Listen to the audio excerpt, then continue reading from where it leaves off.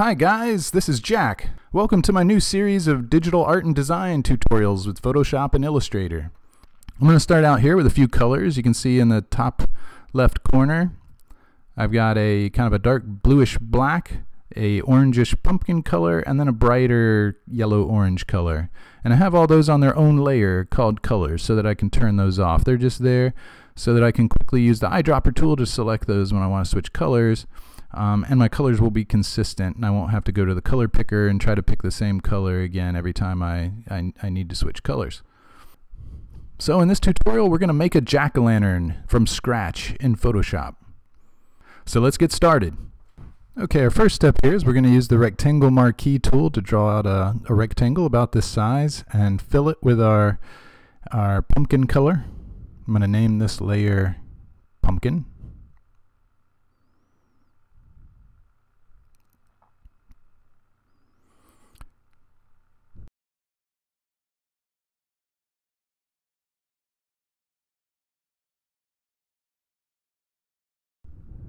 Tried to move the layer there without having the layer selected, so I got that error message. So now we want to lock the transparency of this layer, which means we're going to be able to make adjustments only inside the opaque pixels of this layer. So now I'm going to switch my brush to a um, nice soft brush. I'm going to select our lighter yellow color and now I'm just going to paint some vertical stripes. Um, the opacity of my brush, you'll notice, is at about 20%. I'm speeding up the footage here, so um, to make this go a little bit faster, because it's just it's pretty repetitive. Um, I'm just trying to get a little bit of variety into these stripes, some a little wider, some a little narrower, you know, some a little bit more opaque. You know, I go over some of them a few more times just to make them more pronounced. Um, these are going to be the ridges in our jack-lantern.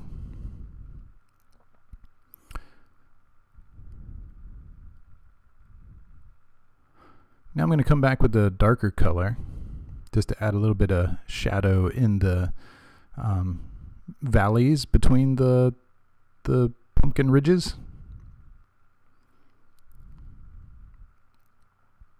Just to darken that up, give it a little bit more contrast.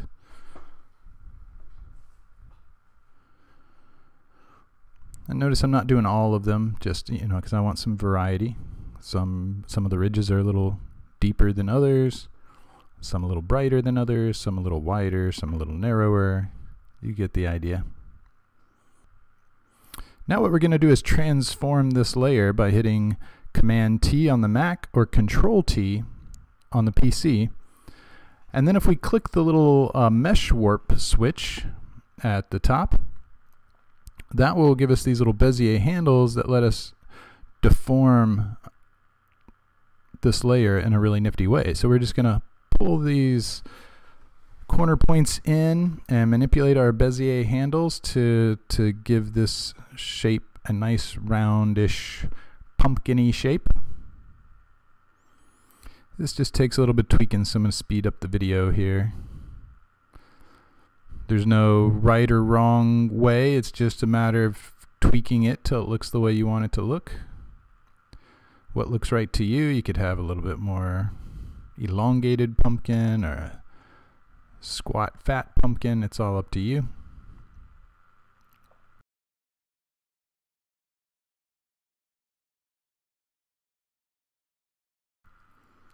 These middle um, grid lines, you'll see we can reach inside and we can pull those down.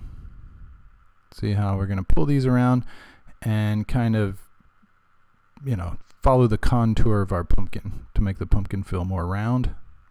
Then you hit enter to exit out of the transform tool and now we have a round pumpkin shape. You can hit close bracket to make is the keyboard shortcut to make our brush larger. Open bracket of course will make it smaller. Now I'm switching to the dodge and burn tool. So what the dodge and burn tool is going to do is it's going to let us do darken or brighten our layer. So I'm painting right on this layer with our shadow color in with the burn tool and you can see how that's darkening. Whoop.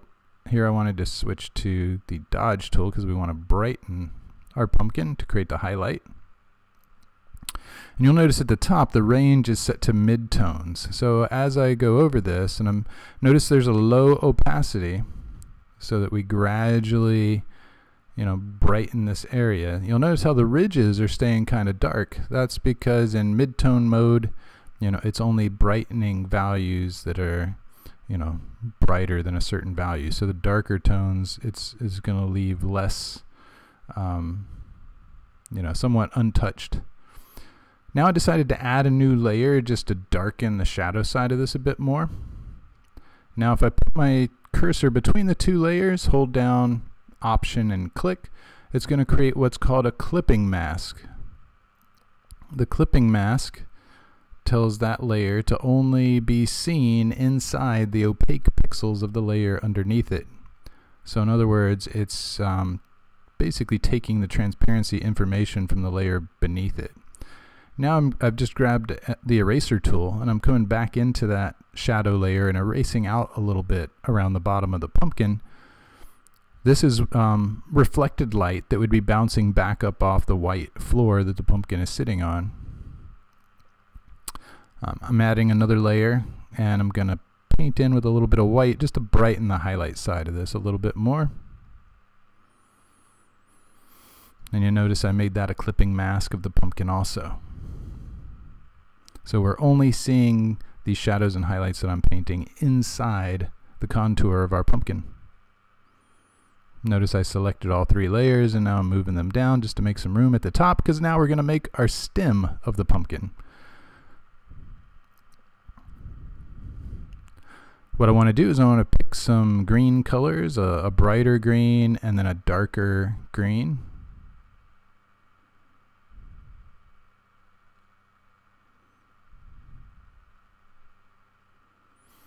I'm going to make a new layer. I'm just going to fill that layer with a color for now. Then we're going to go to Filter, Render, Fibers. And what Fibers does is it gives us this really neat kind of streaky noise. I only need a tiny piece of this, so I'm going to select a rectangle section of it. Copy and paste it. And then delete our original layer there. We're going to turn this into the stem of our pumpkin. Again, hit Command T for transform, click our mesh warp tool, and now we're going to bend this around into a, a pumpkin stemmy shape. Same procedure we used before. I couldn't really see what I was doing there, so I undid it and moved the layer above the pumpkin just so I could see what I was doing. Pull our little Bezier handles around to control the shape of our stem.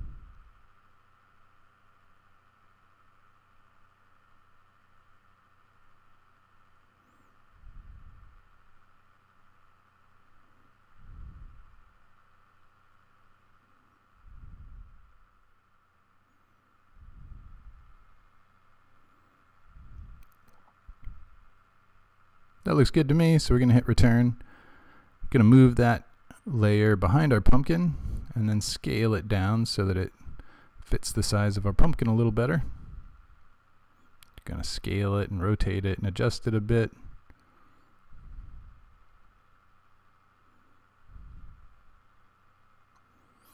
There we go. Now we need to paint up some highlights and shadows on our stem as well. So we're just going to use the dodge and burn tool just like we did on the pumpkin. First we'll burn a little shadow in. Make our brush smaller. There we go, adding a little little shadow on the underside of the stem there.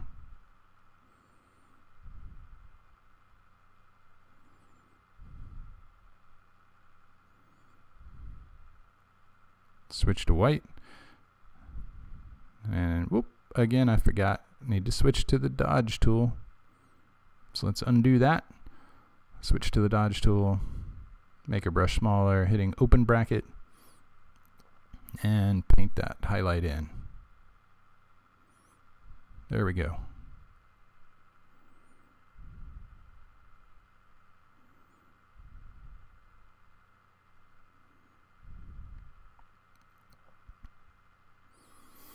Now we're ready to make the face of our jack-o'-lantern, so I'm making a new layer, naming it face. I'm going to grab the pen tool.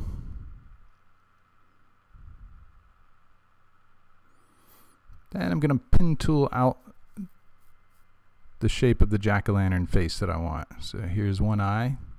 I'll just copy and flip this eye to make the other eye. So created my points. Now I'm just going to tweak the tweak the points a little bit to uh, get the shape that I want.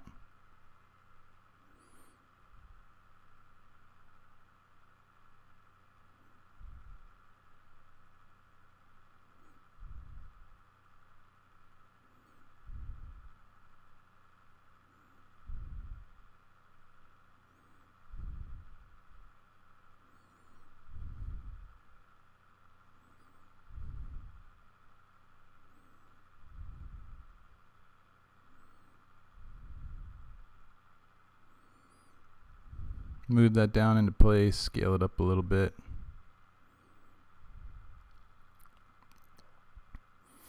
Switch back to our pen tool. Now we're going to draw the mouth. When using the pen tool, I find it a little bit easier just to, to just to kind of drop down the points that I think I'm going to need, roughly where I need them. And I'm not really worrying too much about what the path looks like. Just want to drop my points down, create my basic shape, and then I'm going to come back and tweak and edit those points. Yeah, a, a mistake I see a lot of people make is getting frustrated trying to get their path to look absolutely perfect, you know, the first time through as they're drawing the path. And that, that can be difficult if you're not real practiced with the pen tool. So I would suggest kind of take it in two phases. Just put your points down, rough out your shape. You can always come back and add points or delete points. Now with the direct selection tool, I'm just grabbing those points and tweaking them, moving them around, adjusting my Bezier handles.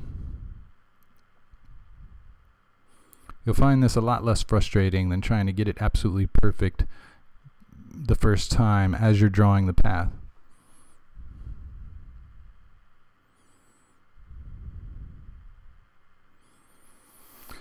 If you have your convert anchor point tool selected, if you hold down the command key, your your cursor will switch to the direct selection tool. So you can easily um, switch back and forth between the two while you're adjusting your points just by holding down the command key.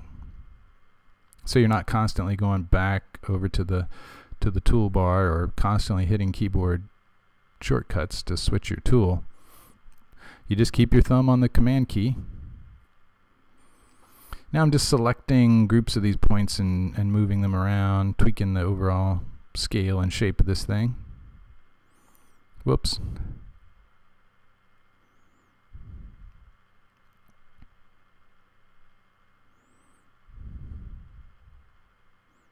Now we're going to select this eye.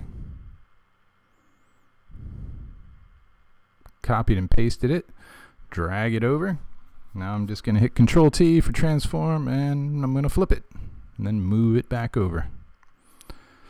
Now that I got both eyes in here, I see I think they're a little bit too big.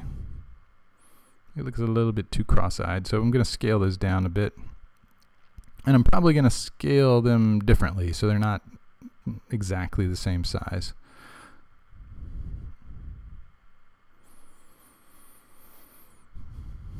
There we go. That looks pretty good. Now we're ready for the next step. Now what we want to do is we want to use this path that we created as a selection. So if you hold down the command key and click on the path, it will load that path as a selection. Now we can go back to our face layer, select a color. I'm just going to make this a little bit uh, brighter, slightly pinkier color of the, uh, the, the pumpkin color. So this is the color you want for like the inside of the, the pumpkin, you know, not the outer rind. So we just fill that selection with the color on our face layer.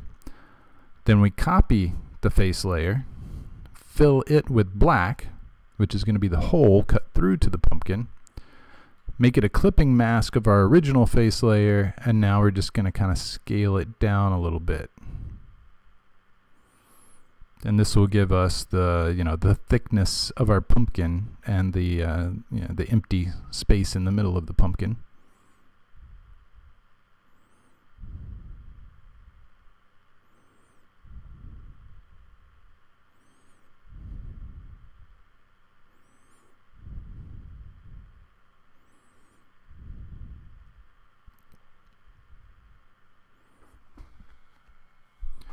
Now where the teeth are, we need to tweak that shape a little bit. So I'm just going to make a slight selection here and delete a sliver of the black there. Same thing on this side.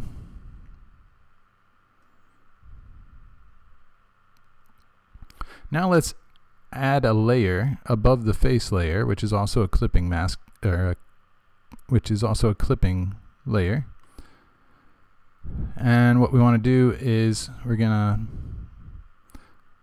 paint some shadows in here. We switched the the blending mode of that layer to multiply. That's gonna darken the layers beneath it. And so now I'm just painting some shadows in here into the, the corners of our eye shapes to give them a bit of a three-dimensional look.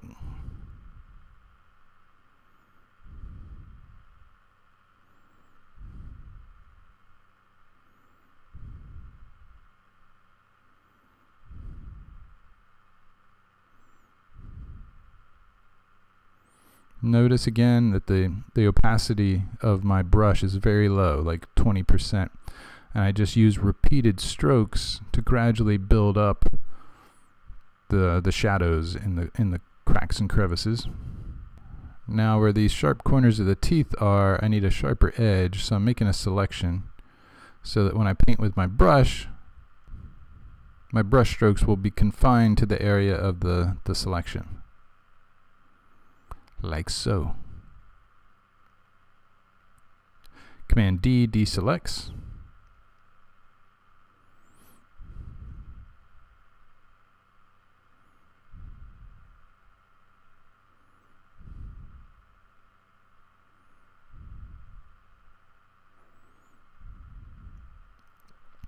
We could keep tweaking this thing, but you guys get the point. Let's move on.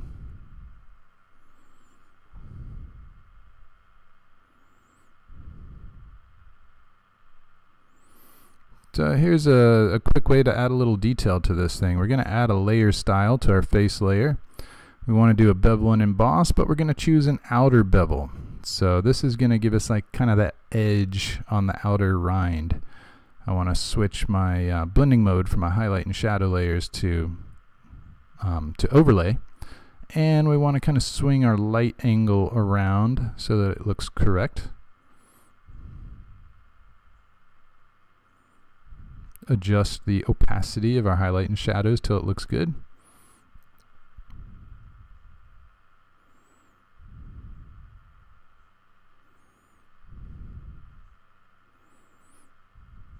And that looks good to me. So let's hit OK. It just adds a nice little little edge detail to the to where the face is cut out.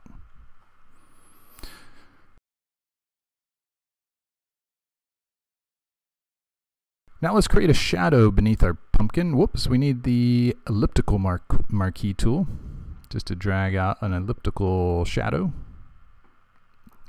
We're going to fill that with our kind of bluish blackish shadow color there. Grab the eyedropper tool, sample that black color, and fill.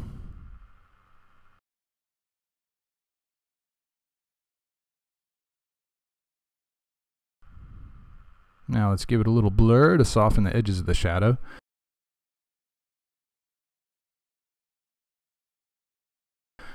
And now if we give it a little bit of a directional blur with the, uh, with the motion blur and blur it just horizontally a little bit more, that will help add a little bit of realism to our shadow because our shadow is, you know, has a bit of an extreme perspective on it.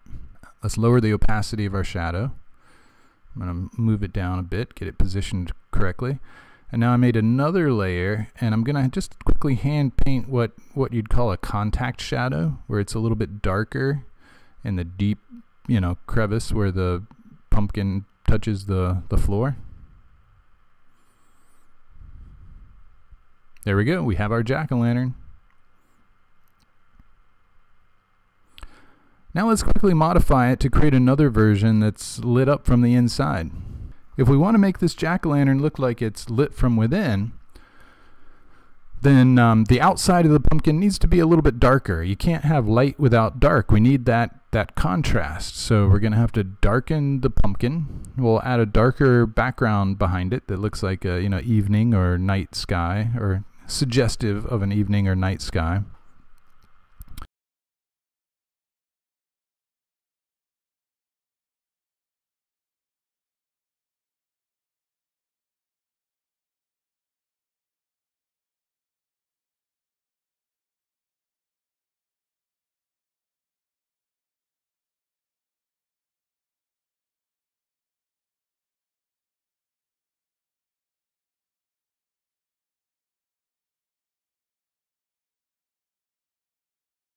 Then the uh, the face layer, this is gonna get a lot of light from the the candle or whatever the light source inside, so it needs to be a much brighter, glowy, more saturated orange color.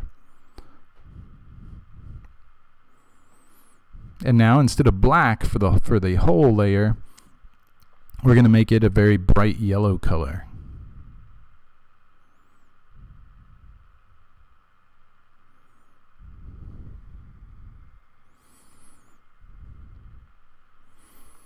Now I want to add a bit of a glow effect on those, the eye and mouth hole, so it looks like the light kind of shining out, glowing out around the edges. So what I'm going to do is I want to create a selection based on that face shape. So if you command click on the Mac or control click on the PC, that layer, it will load that layer as a selection. Now what we need to do is uh, we only want the holes that punch through. So we need to combine this selection with the selection of um, the face copy layer. So if you hold shift, command, and option and click that layer, it will take the intersection of the two selections. And that will give us just the eye hole area. Now we'll fill that selection on a new layer with the bright yellow and then we'll apply some blur to it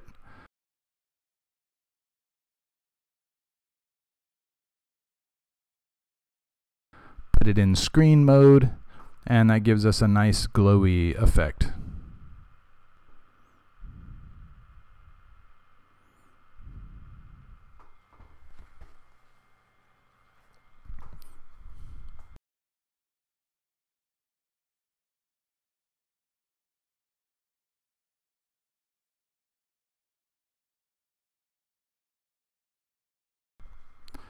We'll also add a, a, a, gradient, a darker gradient in the background just to kind of break up that background, give us some more contrast and variety back there.